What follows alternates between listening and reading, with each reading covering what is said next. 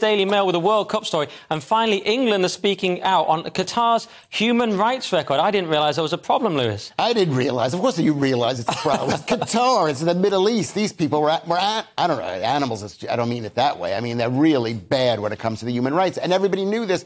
And wasn't Qatar, didn't Qatar involved in paying people off in order to win the. Uh... Well, I was referencing the fact that thousands allegedly died in the building of these stadiums. Yeah. And now we're finally actually acknowledging that with this story. But but not really. There's a there's going to be a rainbow armband for Harry Kane, is apparently the extent one, of it. One out of the entire team. In, in, a country where you get beheaded for having homosexual sex.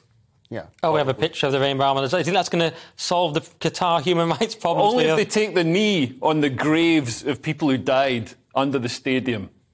I think I think it's uh, it's it's the problem is it's big business, and uh, we shouldn't have held it there. I mean, should, we have to we have to do it in the uh, wintertime because it's boiling hot there in the summertime. So yeah. they knew it was bad. And uh, if you're interested in me, I'm at Lewis Schaffer at Twitter, L E W I S S C H A F F E R.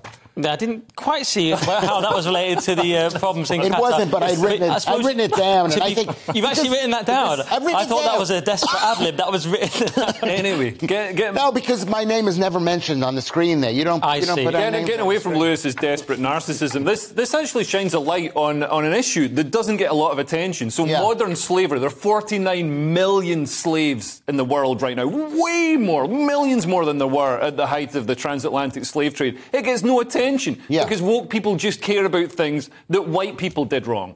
yeah. All right. Well, I think we've nailed that story. and, uh,